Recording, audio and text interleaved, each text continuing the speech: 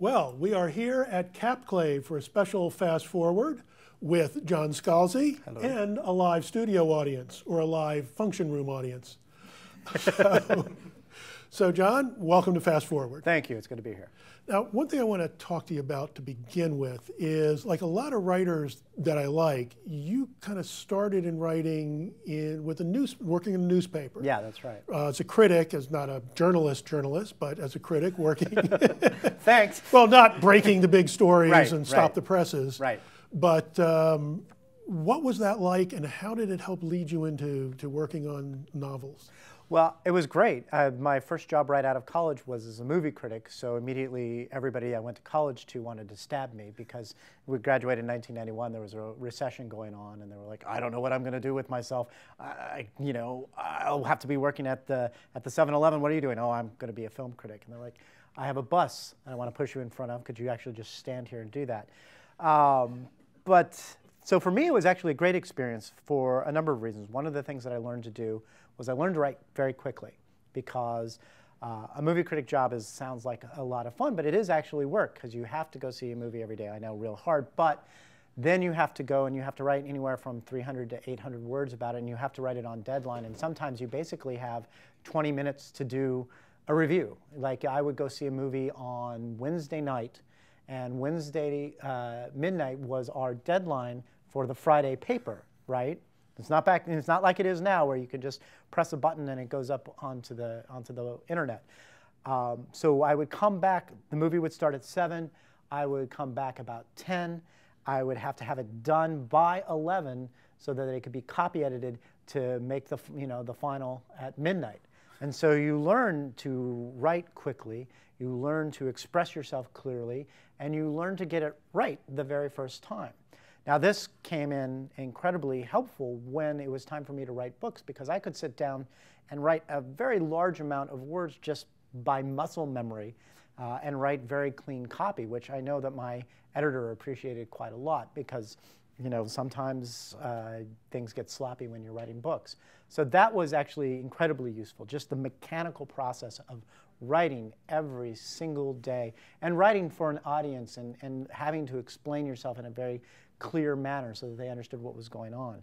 Uh, the second thing that was very helpful was the beat I was working on was Hollywood, you know, and so I learned about uh, what it was like to, you know, make movies. Learned I, I interviewed hundreds of filmmakers, actors, directors, producers. Um, so I had this base of knowledge that so when it came time for me to write a novel, when I sat down and said, now I got to find out if I can actually do this or not, uh, I could write from what I knew, which was um, this broad expanse of knowledge about uh, movies and about the movie industry. And so the very first novel I wrote, my practice novel, uh, was Agent to the Stars. And the idea behind that is aliens come, they get Hollywood representation. And the fact that I knew as much as I knew about Hollywood uh, made it very easy to write because I had that knowledge base. This is one of the reasons why I suggest to people, you know, uh, young people often ask me, well, should I go in and get a writing degree or, you know, creative writing? I say, no, you should actually go get a degree that allows you to do something else so that you can have a larger uh, store of knowledge so that when it comes time to write, because a writer is going to write no matter what, uh, then you are able to pull in some knowledge uh, aside from the writing. Right. Plus, I would think that writing criticism of all the movies you see and all that would you'd be looking at them critically and, and with an eye towards what's the story. So I would think you'd learn something about storytelling and story structure just from thinking about movies. It's absolutely correct. Uh, I watched for story every day for five straight years. Every day I would go, well, how do you tell the story? What's working? What's not? And so you learn how to how to see how a good storyteller tells a story. It doesn't mean that there is a particular one way to tell a story, but you ask, what did the what did what did the storyteller here set out to do? Have they achieved their objectives? Uh, if so, how so? If not, how so? Um, and that was actually incredibly important. Uh, it also gave me a template.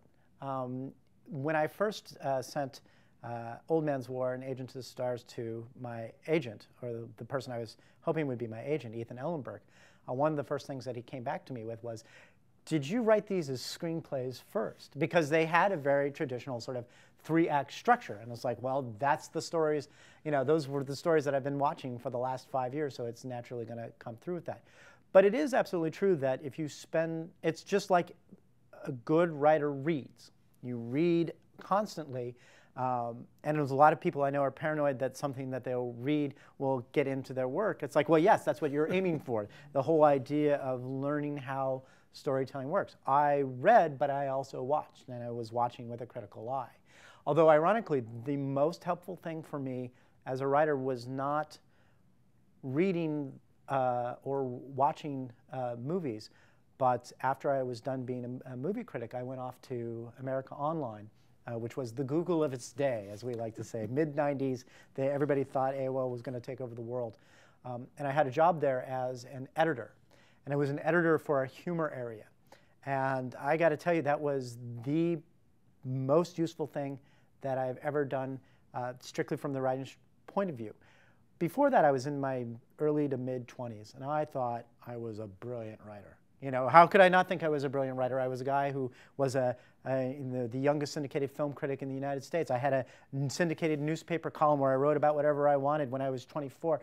I was amazing, right? And then I went and I had to edit this humor area where I had 20 empty spaces a month. I had 10, uh, 1,000 submissions a month for those 20 spaces. And at the end of getting through all those submissions at the end of every month, I still had 10 spaces left to fill because it's really hard to do humor. And so I would have to talk to the people whose work was almost there but not quite and break it down to them going, this is what you know, we need from you, this is why this isn't working, can you uh, fix this. Here's an example of what I mean. Now, can you do something similar to that? Basically, having to spend a lot of time. So, not only looking at structure and story, but also just looking at the mechanics of writing, which I never had to do before.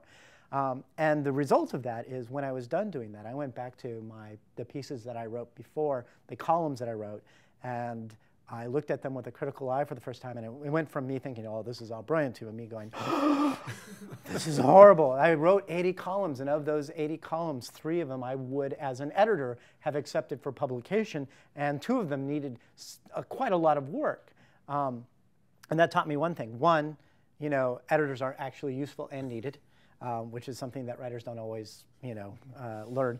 Uh, and second of all, um, that it helped me be critical about my own work so that you know the tools that I had before writing quickly, you know, writing in a clever fashion, writing in a manner uh, that was clear, were basically put into the crucible and, and burned away uh, all the cruft so that I actually could just get to the point and be merciless with my own writing because if I was if I wasn't going to do it, somebody else was. Um, and why put them through that? You know, you know, try to get it right as much right as you can the first time, then send it off to the editor so they have less work, um, and it's closer. The final, final product is closer to what you intended. Right. Then in was it '98 you became a full-time freelance writer? Yes. But you didn't publish your first even nonfiction book until for like a couple of years. Until 2000. Well, these things take time. Yeah. what on earth made you decide I'm going to go go full time freelance mm-hmm. when you didn't know if you if you could actually make a living at it? I got fired. Oh, okay. Well, I oh, that's right. You were working for AOL. I was working for AOL, um, and what happened? I, I, I, was a, I was a layoff of one, and I wasn't fired like you know I did something wrong. I was kicked out. I worked for a group that basically was a uh, company-wide resource, right? People had problems, they came to us, we would solve them. We were the firemen of, of AOL, so to speak. That group dissolved. Um, all the other people in the group had specific skills, program director skills, or programming skills, or something like that. Um, but I was the writer. And the problem with being the writer and being an in, uh, a company-wide resource is Nobody wants to put in their department a person who is used by the entire company. It's supposed to be each department has its own budget. So basically, nobody wanted to put me on the budget. Um, and so I was a layoff of one. Um, and it was incredibly depressing because up until that point, again, remember this is me uh, early mid 20s, and everything was going my way, everything was fantastic. And then through completely incomprehensible reasons, I was just like, funk, I'm sorry, off you go. And it really threw me into a tailspin. And I was like, what the you know what the heck? And then I had to really make a decision. My wife and I both sat down and was like, are we going to let this define this or are we going to kind of move forward? And we decided that we were going to move forward. I would become a freelance writer and you know basically see what happens. Now the good news is we made that decision and then literally the next day people started calling us up and you know from AOL they're like we just realized that we don't have anybody to do any writing. Will you come back as a consultant? We'll pay you twice as much. You only work half as much. And I'm like I'm down with this. Um, I, I, had seen that happen to a lot of people. It's, they it's, laid off and they're back like a month later making more money. Right exactly. Now you know my it was and it was great for us because the folks that my wife were working was working for, she was working part time at that time, and they were so concerned about her leaving um, that they basically said, "Don't go. We'll put you full time and give you benefits." You know, and it's like, wow. So basically, uh, we decided that we're going to make this work one way or the other, and then the universe said, "Well, well done for you that you decided to do this. Now, bink, bink, bink, bink." So it worked out very well for us. So I got pushed into it, but I often tell people, and I, and I mean this with all sincerity that being laid off from America Online was the, one of the best things that ever happened to me because it made me realize that I had to be in control of my own career um, or otherwise, you know, I was going to be at the mercy of, of other people. And for a writer specifically, that is a great lesson to learn because you really are, so much of the time as a writer, contingent upon whether other people will accept your work or whether other people like what you're doing. Uh, so much of your career is not in your control that it really behooves you as a writer to take as much control as you can so that uh, when someone doesn't like something or when something doesn't work out, you still have other options. You still have the ability to continue on with your life. Right, right. And then Old Man's War hits. and that changed your life again, didn't it? It was very weird. um, it was, I don't think anybody was expecting it to do as well as it did. Uh, the first printing of Old Man's War uh, was 3,700 books, which is not a whole lot of books. Um, and what had actually happened to that is it sold so quickly that uh, we basically sold out of the first printing in a, in a couple of weeks. And for about a month, I think three weeks, four weeks, you literally couldn't find it. I mean, it just was impossible to find. And, and I, I remember uh, Tor was like, what just happened? And what had happened was Cory Doctorow and uh, uh, Glenn Reynolds of Instapundit both said to their uh, respective and completely different uh, crowds, go get this book. And uh, on the internet, um, it's, not, it's not like if you see something on a TV show no offense. And, uh, and, and someone says, oh, and this is Old Man's War, go get it at your local bookstore. On the internet, it feels much more intimate. So when Glenn Reynolds, in particular, said to his uh, uh, readers, this is a really good book, you should go get it, um, it was as if I, me, John Scalzi, was saying to you, go get this book right yeah. now. You won't, you won't be disappointed. There, there is something strange about reading something on the internet, as you said, like I said, opposed to TV, that it feels like this person is writing this to me. Yeah, it's much more. It's a much more immediate yeah. thing. Uh, and so what happened was the, the, everybody who read Glenn and a lot of the people who read Cory was like, okay, I'll go get it, and they went and got it, and uh, everyone was surprised. And then you know the reviews were good, and, and then afterwards. Um, the, the nominations, the Hugo nominations came out, um, and I was up for the Campbell and the Hugo, which was the first time that it, it happened in like 22 years. So all of a sudden, people are like, "Who the you know who the heck is this John Scalzi guy?" Um, the irony the about is that is, who is this John Scalzi guy, and why does he smell so bad? Um, the yeah. irony of this is, is that you smell like a spring day, John. Thank you, I appreciate that. I, I do feel kind of lilac fresh. The irony of this is, is that I the reason that I was on the ballot in 2006 for the Hugo ballot um, was actually because of a, the sort of generosity of another writer, specifically Neil Gaiman. Neil Gaiman had won three Hugos in three years, one a year and as opposed to three each year. Um, and when he was nominated for Anansi Boys uh, for novel, at that point he was like, you know, I've just won all these Hugos. Um, it's time to, you know, perhaps let somebody else, you know, have a shot at this. And so he declined that nomination. And so the number six book then became the number five book, and that number six book was me. And he was absolutely right. He was absolutely right, and it made the world of difference for me. So when the first time I met uh, Neil Gaiman, uh, what I said to him is, I owe you a fruit basket, because it really made a, a huge difference. Yep. Now, let's change gears a little bit. We talked about your writing. Let's talk about your political career, being, being president of SFWA. Right.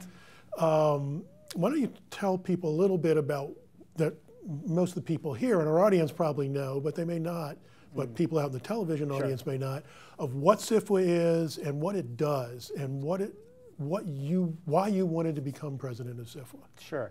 Well, SFWA is an acronym. It's for Science Fiction Fantasy Writers of America. And it's basically the organization of science fiction and fantasy writers. And what we do is we advocate for them. We make sure, uh, as much as we can, that uh, they are uh, being treated fairly by publishers. We make a lot of noise when they're not.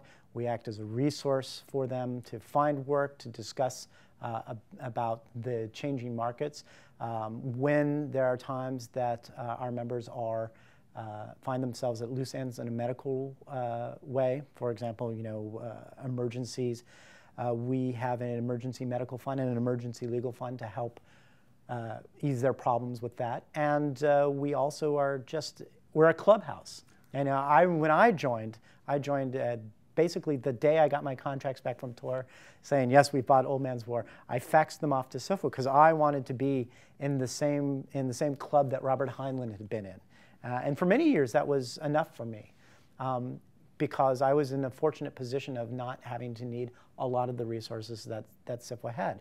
But the more that I uh, was in SFWA, the more that I realized that it was actually beneficial to our members. It kept them aware of trends in the industry. It made sure that you know if somebody was being treated poorly by uh, an, uh, an editor or an agent, so-called editors or so-called agents specifically, um, that we, we raised a ruckus and we let people know to avoid those people. We've had uh, people from Writer Beware right, um, exactly. on, on the show before. And they do a fantastic right. job. But time after time, I ended up seeing that this was not just not just a club of cool people to, to be in, but uh, uh, an organization that actually had the interests of people like me uh, at, it, at, at, at its heart. And eventually it came to a point where I thought it was important for me to become much more active. I, first thing I did was I was on a committee about copyright. Uh, and then after that, a couple years later, I ran for, for president. And I've been president now, I'm on my third term. It will be my last term as president because I think three is enough for me. I think it's also enough for SFWA. They should have some new blood in there for next year.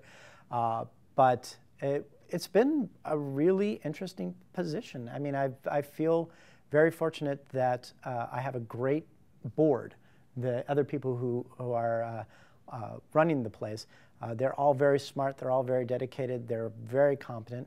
Uh, we all get along very well. We make sure that we always keep the interest of the organization at heart. And uh, at the end of the day, I think we are doing good for, for our members. We're also, you know, and it's also been fun for me. I'm high profile enough that I can do some things that I think other people have not been able to do. Uh, an example is I uh, am part of this thing right now called the Humble ebook bundle which uh, we I are. bought it. Yes, it's uh, a, a, bunch of science fiction fantasy books. People pay what they want for it. Uh, in addition to paying the authors, which is always nice, we also assign some of the money goes to uh, SFWA and its emergency medical fund. Uh, we've raised half a million dollars so far for the overall humble bundle, which means if our you know if all the defaults were used in terms of what to give, uh, you know we've made tens of thousands of dollars for SFWA and its emergency medical fund already, which That's is great. Yeah. That's great. And John, we are out of time oh, for, no. for the Fast Forward interview. Thank you very much for taking time to join us. Thank you. And so for everyone here at Fast Forward, this is Mike Zipser saying take care.